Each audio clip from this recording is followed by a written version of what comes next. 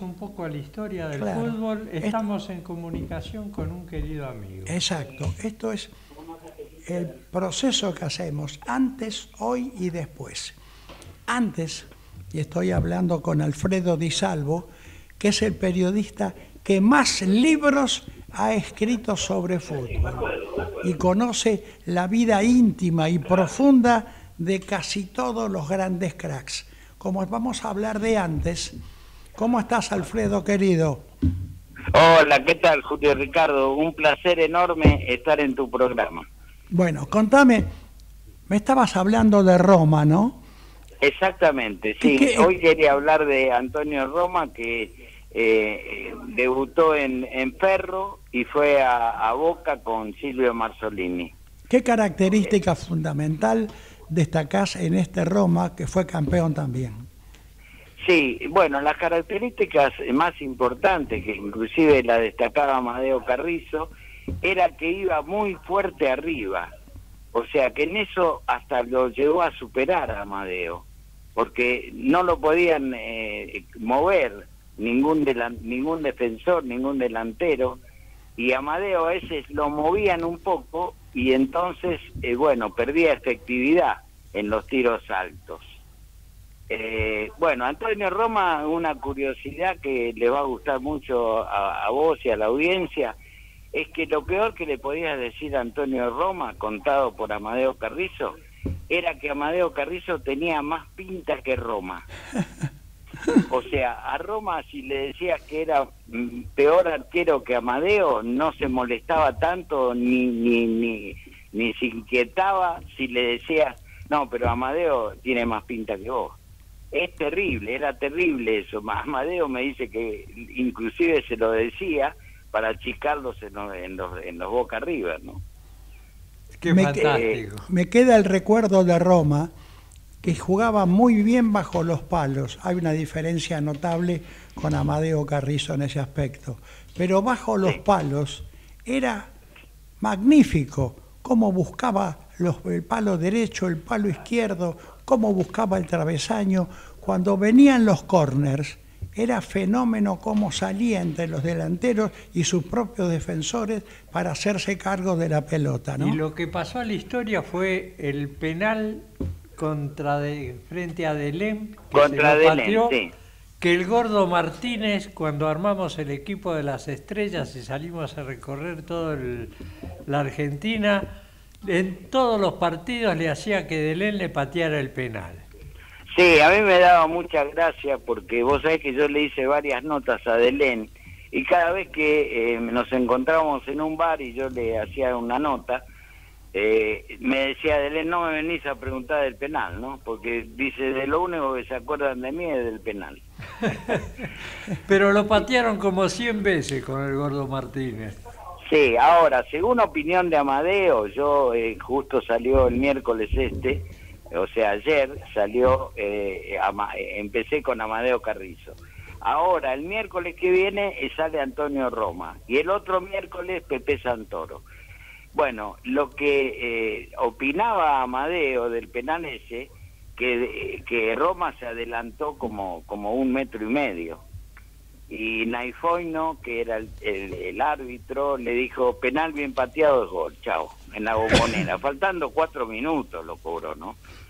Sí. Eh, que, bueno, estaban los dos con la misma cantidad de puntos, el que ganaba prácticamente era campeón, ¿no? Ahora, en este momento, en el fútbol sudamericano, están observando, el VAR parece que lo único que se dedica es a ver si el arquero se adelanta o no en los penales. Si se adelanta... Bueno, eso es muy importante. Si se adelanta apenas un paso, lo da por anulado. Ah, mira. Sí, ayer, por eso, eh, antes de ayer, cuando jugó la selección que contra Chile, que ganó 1 a 0, con gol de Lautaro Martínez. Eh, lo que separó el VAR es en, en, la posición de un de, un delantero, de Lo Chelso, creo que era. Eh, y entonces, bueno, eh, ahí estuvo estuvieron como 5 o 10 minutos discutiendo a ver si era, era gol o no. bueno, finalmente por la selección argentina fue gol y ganó sobre la hora 1 a 0, ¿no? Que ya está en cuarto de finales. Y de los arqueros no me vayas a dejar afuera mi amigo Rogelio Domínguez, que nos juntábamos los sábados con él y con la Bruna en el Pado de Palermo. Exactamente, sí. y vos en, en el palco de, del presidente de Chacarita, del funebrero. Claro, sí, seguro. De Zucotti, de Salvador. Sí, sí, no, Rogelio Domínguez marcó una época también, ¿eh? De todas eh, formas, ¿de qué momento particular en la historia de Boca lo ubicas a Roma? Mira, a Roma en la historia de Boca yo lo ubico como tercero, tercer arquero. O sea, primero lo, lo pongo a, Navarro Montoya, que me gusta más que Gatti. Eh, segundo a Gatti y tercero a, Roma. Eh, si Messi no jugaba? No, Messi no jugaba en esa época, si no hubiera sido un picnic para, para Boca o para River, ¿no? Messi, Messi eh, cantaba chamamé por la radio. Vos sabés que eh, yo tengo el nombre, pero como soy muy amigo del que lo rechazó a Messi cuando eh, había que pagarle para que para que crezca, porque tenía un, un problema de crecimiento, eh, bueno, y el director de las inferiores dijo, no, no, si Messi no, no, no tiene condiciones para, para que nosotros paguemos el tratamiento. Bueno, hace 21 años que es el número uno, ¿no? Qué, qué, equivocación, ¿no? Porque qué error. Vos sabés que lo voy a invitar a casa y te voy a invitar a vos a comer también eh, y bueno, hoy vas a saber quién es, porque no no lo voy a decir porque él me pidió encarecidamente que, no lo dijera, porque vos imaginate, eh, decir que un tipo no tiene condiciones y hace 21 años es el número uno, eh, bueno, es un error garrafal. Sí, de todas formas, lo, la, la situación era que querían, le tenían que dar un sueldo o una habitación para la familia Claro. Y River dijo que no estaba en condiciones técnicas el, niño como para pagar eso. Cuando lo vieron los catalanes, no solamente que le dieron una magnífica ubicación, sino que le pagaban un sueldo al papá de Messi. Estamos hablando con un chico de 8, 9, 10 años, ¿no? Sí, en el Barcelona eh, lo vieron a Messi jugar en, la, en, eh, las inferiores eh, y le dijeron, le vamos a pagar el doble del tratamiento, porque tenía unas condiciones enormes. bueno, y así después lo demostró, ¿no? En el Barcelona.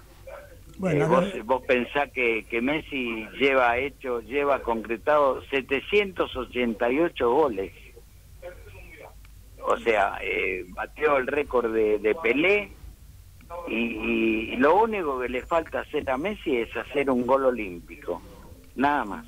No me acuerdo en este momento, pero también tiene un récord de entregas. De sí, de entregas también, de asistencias también tiene un, récord. Es francamente un récord. Bueno, lamentablemente este fin de semana no lo podremos ver. Ojalá que pueda recuperar no, no porque está lesionado, parece que el aductor y tiene un poco de fiebre porque tiene un, una angina o un resfrío. me parece que esto último, es lo último que señalas, porque Messi no deja de jugar ni aunque le falte un brazo. No, no. No, deja de jugar, de ninguna manera, no es que se y lo pone o lo saca. Él no sale nunca. Para que no juegue, por supuesto que están evaluando normalmente que el equipo ya está clasificado, él ya venía con algunos problemas desde, desde el campeonato norteamericano, de modo bueno, que se pusieron de acuerdo y Argentina no jugará con Messi el próximo sábado, mi Pero querido. Pero lo reemplazará el Fideo seguramente. ¿Cómo? Sí, el Fideo hará el papel de Messi en este partido sin Messi. Vos sabés que yo le hice eh, una nota eh, al técnico de la selección argentina eh, ganadora del 78, Menotti, y me dijo una de las últimas notas, y me dijo el flaco, me dice, Di María juega en otro planeta cuando juega para la selección argentina, siempre juega bien. Es cierto, bueno, pero las posibilidades de ubicación son distintas. Argentina, Argentina tendrá que armar un equipo distinto. Mi querido, mi querido Di Salvo, de todos los que te has zambullido en la vida de todo el mundo del fútbol, ¿cuántos libros escribiste? 21 libros eh, publicados y tengo tres. Eh, uno es el, el, dolor de una traición de la vida de JJ López, que es muy interesante, que me pidió Pasarela que no lo saque porque justo River se fue a la B. Eh, y entonces, como contaba el negro López, por qué motivo se fue a Boca, que es muy interesante eso, todos los motivos por los cuales se fue a Boca. Esperamos pronto. Esperamos pronto este libro tuyo, mi querido Alfredo Di Salvo. ¿eh? Bueno, muchísimas gracias por llamarme y a tu disposición todas las veces que quieras. un cariño a la mesa. Chao, muchas gracias, muchas gracias. Gracias. Seguimos por AM